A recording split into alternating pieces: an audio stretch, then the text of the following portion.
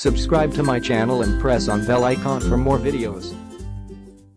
Hello friends today I am going to show you review of Cosmic OS that is based on Android Oreo 8.1.0 so guys let's start.